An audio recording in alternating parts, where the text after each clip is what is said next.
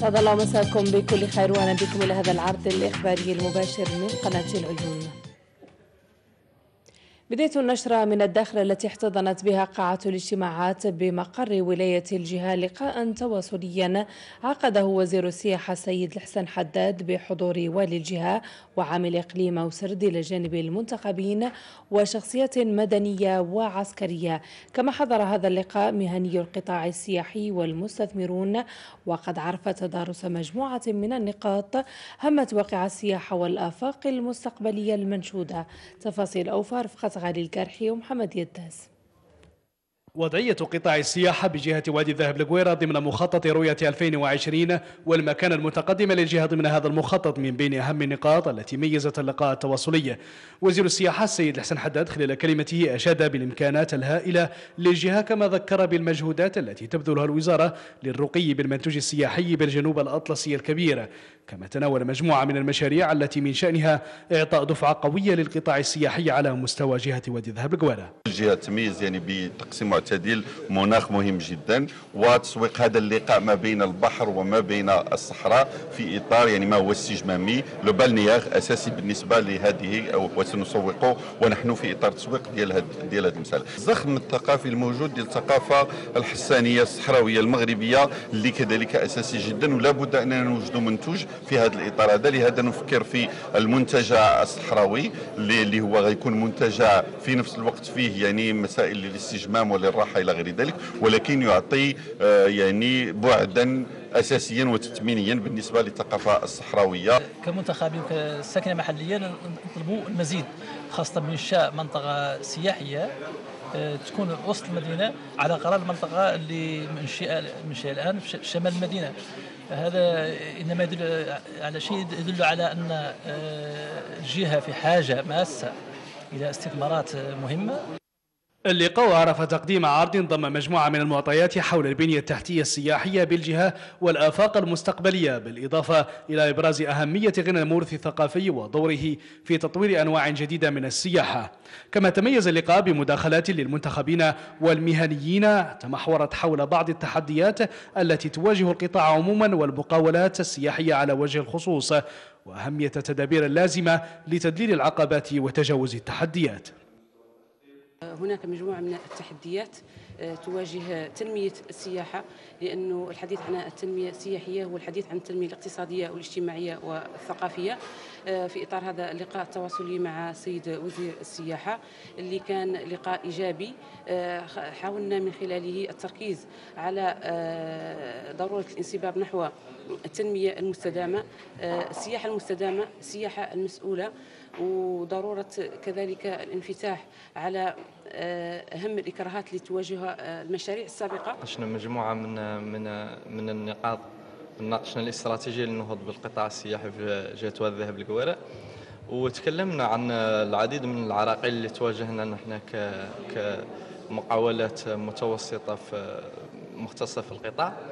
من بين هذه من بين هذه المشاكل اللي تكلمنا عنها مشكل النقل الجوي جهة وادي ذهب القويرة جهة غنية بإمكانياتها الطبيعية المتنوعة وثراء ثقافي هائل يجعل من هذه البيئة فضاء خصبا لقيام قطاع سياحي متطور ويمثل ركيزة أساسية من ركائز التنمية الاقتصادية المستدامة. في شأن التنموي عقدت اللجنة الإقليمية للتنمية البشرية بطرفي اجتماعا لها خصص للمصادقة على المشاريع المقدمة في إطار البرنامج الأفقي. وفي المتابعة عياد سرتي وصالح رقيبي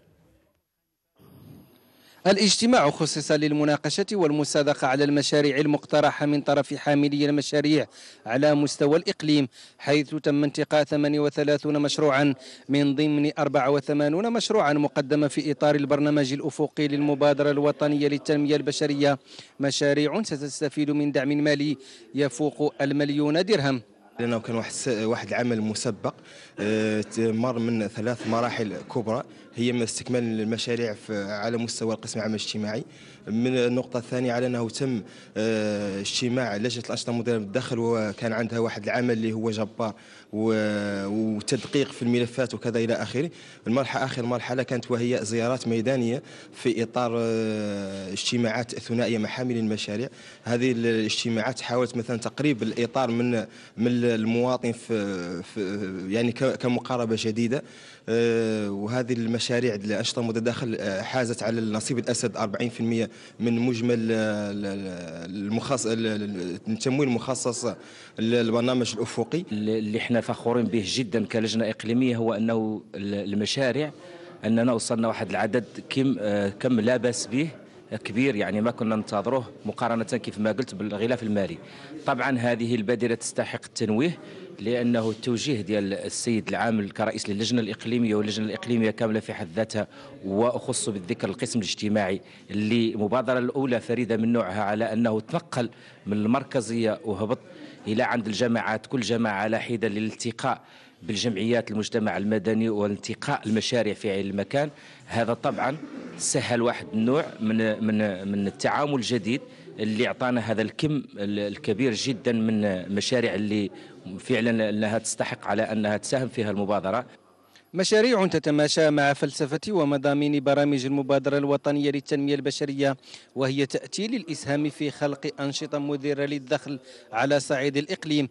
هذا وتشكل نسبة النساء من المستفيدين حوالي 60% في موضوع آخر يزخر إقليم سيديفني بثروات هامة ساهمت بشكل كبير في بروز عديد المنشآت والمشاريع ذات الصلة بالقطاع الصيد وفي هذا الصدد يعد سوق السمك بميناء المدينة أحد أهم هذه المنشآت التي تحرص على تقديم خدمات مختلفة لمهنيي القطاع. ربورتاج محمد المصطفى خيا محمد مشنان وإبراهيم جولي.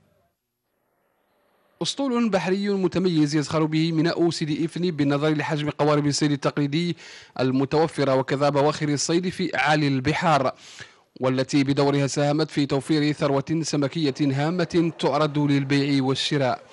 ولهذه الأهمية شيد سوق السمك هذا بميناء سيدي إفني على مساحة تقدر ب 600 متر مربع للمساهمة في تقنين وتنظيم عملية تسويق السمك في ظروف تراعي معايير الجودة العالية. كنحاولوا باش نكونوا رهن رهن المتطلبات ديال الناس والتطلعات ديال الميدان وتنبذلوا اقصى المجهود ديالنا باش نحسنوا يكون المنتوج عندنا كيتباع في واحد بواحد الطريقة اللي اللي تكون كتستجب للمتطلبات ديال الجودة. وكنبذلوا جميع كنسهروا على على باش تدوز العملية ديال السمسارة ديال السمك في أحسن الظروف. وكنستقبلوا هنايا كنستقبلوا ما يسمى بالزوارق. واللي كنبيعوا لهم دوك المنتوجات ديالهم في أحسن الظروف. هم تجار السمك ينكبون بهذا السوق على عملية البيع والشراء ويطمحون عبر هذه العملية لتسويق منتوجاتهم السمكية وفق المعايير المعمول بها من لدن المكتب الوطني للصيد والتي تراعي الكمية السمكية المتوفرة والأثمان المعروضة لكل صنف من السمك. الدور حنا كان كناخذوا سميتو كنشروا الأسماك هنا وكندوها للمرشي. السوق البلدي. الظروف الحمد لله مزيانه وكل شيء غادي مزيان. الظروف اللي كتعيش يعني داخل السمسره ظروف حسنه. يعني كتم البيع والشراء بطريقة بطريقة جميلة وبالنسبة للأسماك اللي كتم يعني في اللي توضع بشكل بشكل ذات جودة عالية يعني كتم في صناديق بلاستيكية. والبيع والشراء مزيان. والنظافة كاينة. الحوت كاين الجودة كاينة. الباب اللي شوية راه مسدود. الباب اللي خص شوية. الحوت موجود. الحوت موجود. أي نوع ديال الحوت كاين هنايا. تزخر السواحل البحرية لإقليم سيدي إفني بثروات سمكية هامة وأصناف متنوعة من السمك. مما ساهم بشكل لافت في تطور هذا القطاع وجعله رافدا من روافد التنمية بهذا الإقليم. نبقى دائما بسيديفني وعلاقة بقطاع الصيد البحري وفي إطار المجهودات المبذولة لتقنين القطاع فيما يخص الصيد التقليدي برزت مؤخرا بالإقليم تعاونية التضامن للصيد التقليدي والتي تسهر على تنظيم عمل البحارة العاملين في المجال. عودة مع محمد مصطفى خيام محمد مشنان وإبراهيم جولي. رغبة منهم في تحسين ظروف عملهم أسس هؤلاء البحارة والعاملين بميناء سيدي إفني ومنذ سنتين هذه التعاونية والتي أطلق عليها اسم تعاونية التضامن للصيد التقليدي. فدعم هذا المشروع النموذجي بالإقليم من لدن منظمة الألفية الأمريكية. وسطر المستفيدون منه مجموعة من الأهداف تهم تثمين المنتوج البحري وتقنينه والعمل وفق رؤية هادفة تتوخى الرقية بأوضاع بحارة الصيد التقليدية الآن الحمد لله أن التعاونية أسست ونحن في البداية والأهداف أولا هو الاعتناء بالعنصر البشري أول أول لأنه هو قاطر التنمية لأنه بدون الاعتناء بالعنصر البشري لا يمكن أن تكون تنمية ولا يمكن أن يكون يتحقق شيء. إذا الهدف الأول هو الاهتمام بالعنصر البشري. وعندما نقول الاعتناء بالعنصر البشري نقول التأطير يجب تأطير البحارة على حقوقهم وعلى واجباتهم. لأن هناك حقوق وكذلك واجبات.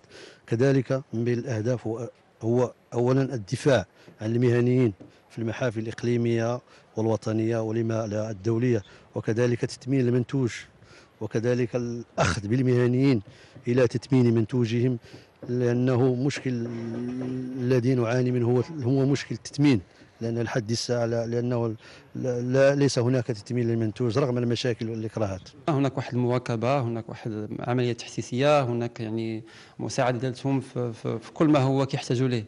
يعني كنديروا مثلا أنشطة أنشطة مشتركة. هناك توجيهات مثلا فيما يخص مؤخرا يعني تم تمت يعني مشاركة مع المركز ديال التكوين اللي عندنا في النيفو ديال طنطان. المعهد ديال التكوين اللي كاين في طنطان.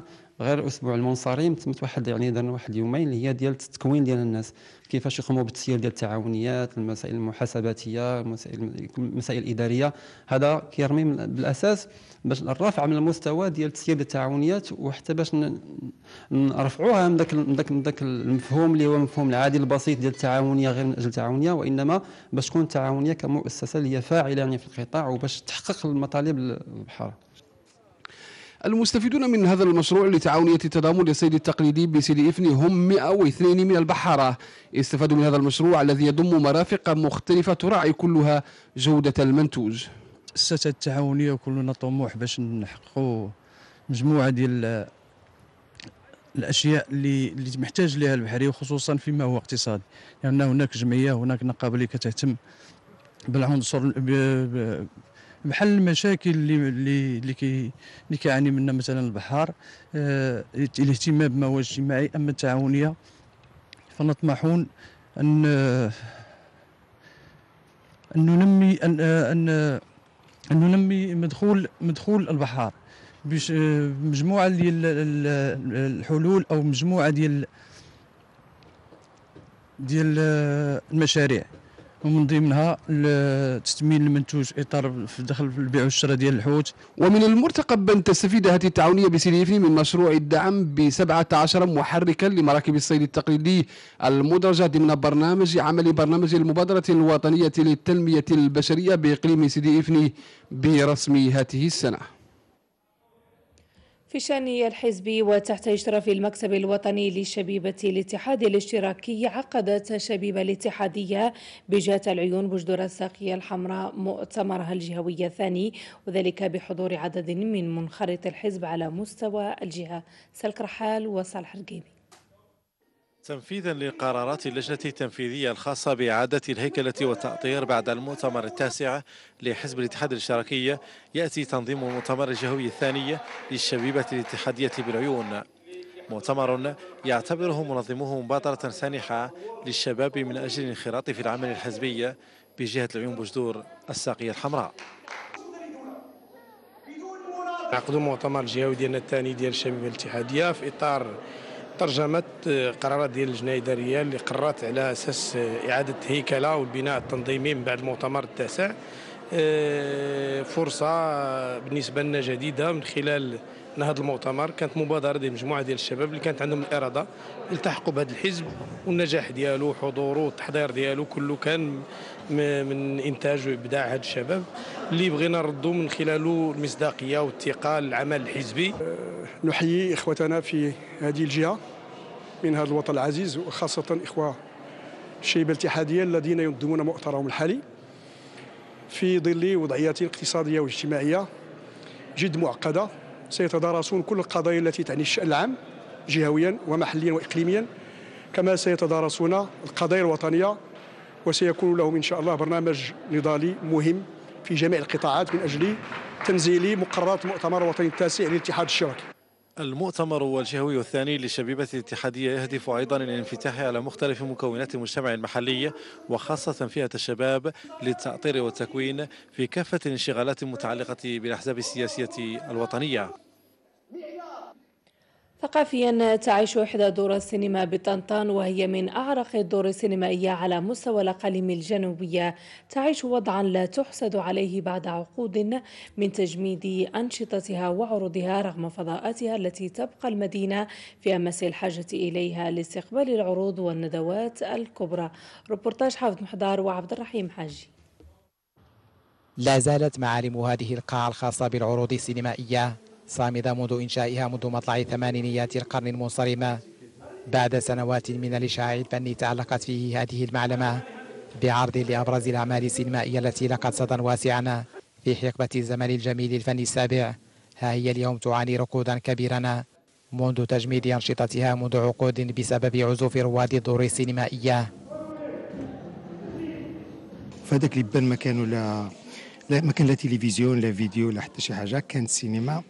يعني كانت آه، في آه، قائمه بالدور ديالها وكانوا الفرق المسرحية كيجوا والجنود المغاربة اللي كانوا يتواجدون في الخلف كانوا يعني لاقين واحد آه، الفرجه كانت متوفرة لهم. وكانت هذه السينما في ذاك الوقت كانت تعتبر من أحسن السينما السينمات في في المغرب. وما ما كناش نقدروا نقولوا شي واحد راه عندنا سينما في طنطا كانت أحسن سينما في المغرب لأنها سيتفاجأ ولكن ها أنتم الآن كتشوفوا هذه القاعة إلى الآن هي باقي صامدة باقي شادة. من 1900 وتقريبا كدا 90 93 تسدت لأن السينما ما بقاش كتعطي ولاو لي فيديو ولاو لي سي دي إلى آخره. وإذا كانت هذه المعلمة السينمائية قد اطلعت بدورها الريادي في زمن غابت فيه الشاشات الصغيرة وقدمت الفرجة واتاحت للمشاهد الانفتاح على ثقافات العالم. باتت اليواليوم شبه مكان مهجور يأمل الكثير من المتتبعين أن يعاد إليها الاعتبار ما دامت تمتلك من التجهيزات والإمكانيات ما يؤهلها لذلك. نتأسف ضيع ضيعنا هذه المعلمه هذه اللي معلمه سينمائيه التي كانت يضرب بها المثل. في الأقاليم الجنوبية وخصوصا مع قرينتها في الدار البيضاء وقادير والرباط ونوجه رسالة نوجه رس نوجه رسالة إلى إلى المسؤولين والقيمين على هذه على هذه المدينة أولا. وأن تكون وأن تكون لهم غيرة تكون عندهم واحد الغيرة وتكون عندهم واحد الغيرة على هذه المدينة لإحياء هذه المعلمة. الآن الأول رد الاعتبار لهذه المعلمة. آه، التاريخية والمعلمة الثقافية المتمثلة في سينما النهضة لأنها مرتبط بتاريخ ثقافي وتاريخ يعني نحن له جميعا. آه، من بين المعالم الكبيرة ديال ديال مدينة طنطان هذه آه، السينما اللي آه، افتقدنا فيها دفء المهرجانات السينمائية وعلى رأسها المهرجان الوطني للسينما بالأقاليم الجنوبية. اوجه نداء للغيورين على على القطاع الثقافي بالإقليم وخاصة الفن السابع. من أجل إحياء اولا جمعية أو نادي لهذا الفن السابع. ثم رد الاعتبار كما قلت للسينما مطالب اذا يامل الكثير أن تجد طريقها إلى التنفيذ خاصة في ظل الخصاص التي تشكوه المدينة على مستوى مراكز الندوات والعروض.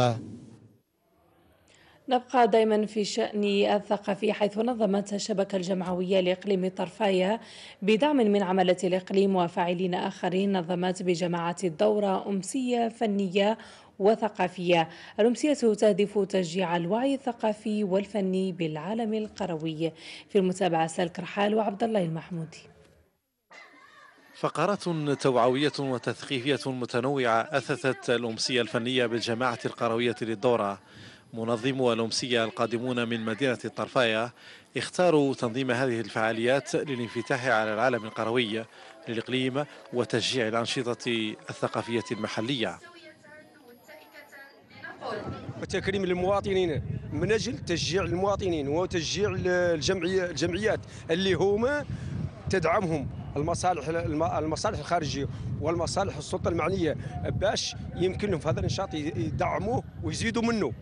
من أجل التقرب للمواطنين ومن أجل المواطنين يحسوا عنه عندهم اهتمام. كانت عندنا زيارة للأروقة ديال المنتوجات النسائية التقليدية اللي اللي هون في الدورة. كذلك كان عندنا واحد المجموعة من اللوحات الفولكلورية والسكيتشات ومسرحيات تعبيرية عن وضع عن وضع المرأة. الأنشطة الثقافية تندرج في إطار برنامج سنوي شامل للشبكة الجمعوية لطرفايا ويشمل عدة قرى تابعة لإقليم طرفايا خلال هذه السنة.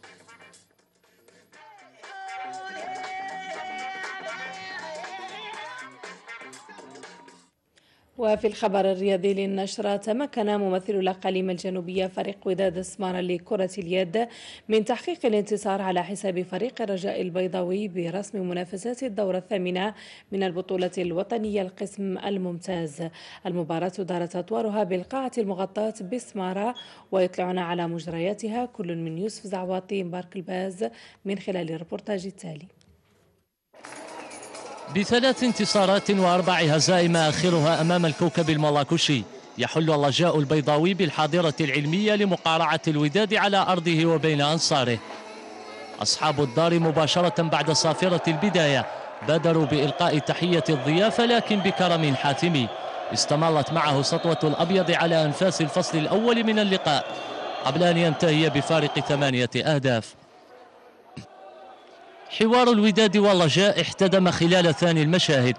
مرتدات هجومية أفلح في استثمارها الزوار بقيادة الكونغولي مايالا ماتولي في مسعى لتذويب فارق الأهداف الذي بلغ في فترات متباعدة من عمر الجولة الثانية عشرة أهداف. استماتة المحليين بمهاراتهم الفردية والجماعية عمقت من جراح الزوار قبل أن يستقر عداد النقاط في نهاية اللقاء. على نتيجة 32 مقابل 24 لصالح الوداد. موقعة القاعة المغطاة أول مباراة نتابعها عن كثب. المدرب الجديد لفريق الوداد التونسي محمد المسعودي. المقابلة صعيبة هي تكون إكيليبري مع فريق قوي. أه مردود طيب. أه إن شاء الله نحسنوه بإذن الله إن شاء الله نحسنوه يكون أحسن من هكا المردود. شوية نظام في اللعب. وبإذن الله تكون ظروف معناها ظروف المقابلات الجاية تكون أحسن من هكا على المستويات معناها مستوى اللعب على مستوى على مستوى الهجوم مستوى الدفاع على مستوى حراسة المرمى. ثم هفوات إن شاء الله نصلحوها نتفاداوها في المقابلات الجاية. كان عندنا واحد الضغط وكانت رحلة متعبة للغاية دخل اللاعبين ما دخلوش المقابله وكان عليهم واحد الضغط لأنه كان عندنا في في البونتوش كان ما كانش عندنا باش نبدلوا الفريق وداك الشيء ما كانش. وحسوا بواحد العياء من من في ال première وفي المقابله في deuxième mi-temps حاولوا يرجعوا شوية ولكن كانت نرفزة بعض بعض اللاعبين وإصابة مايالا لأنه كان مصاب. كنهني في كل مكونات الفريق لا المكتب مسير اللاعب ولا الجمهور الغفير الكبير اللي حضر. والحمد لله اليوم حضر المدرب التونسي محمد المسعودي المدرب السابق للنادي الإفريقي ومن أحد الكفاءات على مستوى القارة. الحمد لله جبنا إحنا في إطار مشروع مشروع ديال أربعة أشهر. أولا الوقوف على الفريق الأول لأن الحمد لله عنده إمكانيات الفريق الأول إمكانيات كبيرة. النقطة الثانية وهو غادي هيكلنا مشروع ديال المدرسة ديال الفئة الصغرى. والنقطة الثالثة اللي درنا معاه في الاتفاقية وهو غادي يكوننا الأطر المشرفة على على الشبان والفتيان والمدرسة ديال كرة اليد. لأن الرهان اللي أصبح الآن متعلقين به وهو البحث على الألقاب. ومن هنا إن شاء الله لسنتين لما لا صار يكون 70% من مكونات الفريق كلهم من منحدرين من إقليم السمارة. كتيبة الوداد تواصل عزف سيمفونية الانتصارات تلو الأخرى قبل أن تشد الرحال نهاية الأسبوع الجاري إلى القلعة الحمراء لمواجهة أعتى المدارس الوطنية في كرة اليد وبطل المغرب الموسم الماضي مولودية مراكش. رياضيا دائما وبقاعة المغطاة بطاطا التي احتضنت فعاليات البطولة الجهوية للكاراتي والأساليب المشتركة وذلك بمشاركة مختلف الجمعيات التي تعنى بهذا الصنف الرياضي بالجهة. التظاهرة نظمت من طرف جمعية الأولمبي الرياضي للكاراتي بطاطا بتنسيق مع عصبة جهة قليمي مسمارة وتحت إشراف الجامعة الملكية المغربية للكاراتي والأساليب المشتركة. في المتابعة علي الكبش وخالد تريكسي اختلفوا في الانتماء إلى مدن أسمرة طنطان قليمي مسزاك وطاطا إلا أنهم توحدوا في عشق هذا الفن النبيل متجاوزا عددهم 130 مشاركا على البساط الأزرق الأحمر حيث كانت العروض الاستعراضية كما كان التنافس بين جل المشاركين لاعتلاء منصة التتويج عبر ثلاث فئات ومن الجنسين معا فتيانا شبانا وكبارا يحدوهم الأمل في ضمان ورقة العبور إلى الاستحقاق الوطني القادم. وتأكيد حضور الجهة ضمن فعاليته. مباريات التباري حملت في جعبتها الندية. تفاعل مع بعضها الجمهور الحاضر مؤثثا جنبات هذا الصرح الرياضي بطاطا. الحمد لله كانت هذه المباراة هذه المقابلات جيدة والحمد لله كان الجو رائع. واول مرة تنظموا في مدينة طاطا وجميع المشاركين كانوا فرحانين ونتمنى الله التوفيق كامل. كانت هذه المقابلة اللي داروا طاطا كانت آه، رائعة. خاص غشبه الإهتمام وكان الدراري كامل في مستوى وإن شاء الله نتمنى أننا نجيبوا نحققوا ألقاب إن شاء الله أكثر من هذه. وإن شاء الله نقبل بطولة المغرب إن شاء الله اللي كاينة في اكادير أنا فرحان بأنني جيت نشارك في هذه التظاهرة. والمهم جيت أنا الأول في الصيف في تيان وكنهدي هذا الفوز ديالي للمدرب ديالي البطولة الجهوية تأتي تماشيا مع جندة الجامعة الوصية على اللعبة بعد سلسلة من التدريب التكوينية الهادفة إلى إحاطة ممارسيها بشتى القواعد والضوابط الأخلاقية والقانونية المنظمة لها.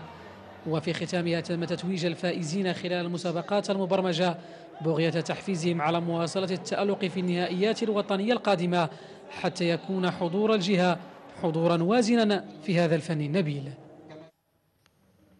والآن وصلنا إلى الفقرة الخاصة بقراءة في الصحف الوطنية صدر يوم غد الاثنين في تقرير لسالك رحال نستهل قراءتنا بجديد الصحف الصادرة يوم غد الاثنين من يومية أخبار اليوم المغربية التي كتبت في صفحتها الأولى بعد أن طالب ثلاثة مقررين للأمم المتحدة يوم أمس بجنيف بمباشرة تحقيقات موسعة في حادث مقتل اثنين من اللاجئين الصحراويين برصاص الجيش الجزائري على الحدود بين الجزائر وموريتانيا في يناير الماضي. أسر مصدر دبلوماسي مطلع بأن كريستوفر هينز المقرر الخاص المعني بحالات الإعدام خارج القضاء سيكلف فريقا بالتوجه إلى تندوف من أجل فتح تحقيق لتحديد ما إذا كانت الجزائر قد انتهكت المعاهدات الدولية في هذه القضية. وكشفت أخبار اليوم المغربية بأن هذا يأتي بعد أن اتهمت أسرة الضحيتين الدولة الجزائرية مباشرة بالقتل العمد مصرحة بجنيف. نحن نعلم أنهما قتلا عمدا ولو كان الهدف إيقاف شاحنة فقط لا أطلقوا النار على عجلة السيارات. وقامت أسرة الضحيتين يوم أمس بتسليم مفوض السامي للأمم المتحدة لحقوق الإنسان ملفا بمطالبها بالتحقيق. كما وضعت تقريرا لدى المقرر الخاص المعني بالتعذيب. أما يومية الأحداث المغربية فتطلعنا في عددها الصادر يوم غدر الاثنين بأن الجزائر أنفقت 700 مليون دولار في سنتين للاعتداء على المغرب دبلوماسيا. وفجر هذه الفضيحة عمر هلال سفير المملكة الدائم في الأمم المتحدة. وذكرت الأحداث المغربية بأن الدبلوماسية المغربية كشف هذا في إطار حق الرد بعد مداخلة للسفير الجزائري خصصها حصرا للوضع بالصحراء على أن التراب المغربي لا يتجزأ كما هو الشأن بالنسبة للشعب المغربي في مواجهة مواجهة الشدة والاعتداء الدبلوماسي الجزائرية الذي تتم تغذيته بأكثر من 700 مليون دولار في السنتين الأخيرتين. أما صحيفة النهار المغربية فكتبت في آخر مستجداتها الإخبارية كشف صحفي جزائري زار مخيم اللاجئين بتندوف مع وفد جزائري في الأسبوع الماضي أن انتفاضة قام بها لاجئون صحراويون طالبوا بالعودة إلى بلادهم والتخلص من قبضة ميليشيات البوليساريو. كادت أن تتحول إلى مأساة. وجاء في موقع تامور القبيلي أن اللاجئين الصحراويين الذين يوجدون كرهائن للنظام الجزائري في تندوف منذ عقود يعيشون في ظروف غير إنسانية في قلب الصحراء. وقد تم تنظيم عدة حركات احتجاجية من طرف اللاجئين ضد البوليساريو والنظام الجزائري الذي يكفله لكنها تعرضت للقمع الشديد في سرية تامة. انتقل إلى عفو الله تعالى المرحوم سيدي الشيخ المعروف بأب الشيخ ولمحمد مولود والبريكة والبعلي عن سن تناهز 55 سنة. الفقيد ينتمي لقبيلة رقيبات أهل القاسم إبراهيم. وانتقلت إلى عفو الله تعالى المرحومة فاطمة بنت محمد سالم للكرش المساوي عن سن تناهز 77 سنة. الفقيدة تنتمي لقبيلة رقيبات تغمد الله الفقيدين بواسع رحمته واسكنهما فسيح جناته وألهم ذويهما الصبر والسلوان وإنا لله وإنا إليه راجعون. ونختم النشرة بورقة أحوال الطقس المرتقبة ليوم غد حيث سنلاحظ تشكل سحب منخفضة وكتل ضبابية بالقرب من السواحل فيما سيظل الطقس مستقرا مع سماء صافية إلى قليلة السحب. فيما يخص درجات الحرارة ستتراوح الدنيا ما بين 12 درجة بقليميم و 17 درجة بأسا القويرة وطاطا. بينما ستتراوح درجات الحرارة العليا ما بين 33 درجة بأسا و 20 درجة بالداخلة حالة البحر بالواجهة الأطلسية سيكون البحر هايجا إلى قوي الهيجان ما بين المحمدية والجديدة وقوي الهيجان ما بين الجديدة والطرفاية شروق الشمس بالعيون سيكون بحول الله على الساعة السادسة صباحا وسبعة وخمسين دقيقة وغروب على الساعة السابعة مساء ودقيقتين.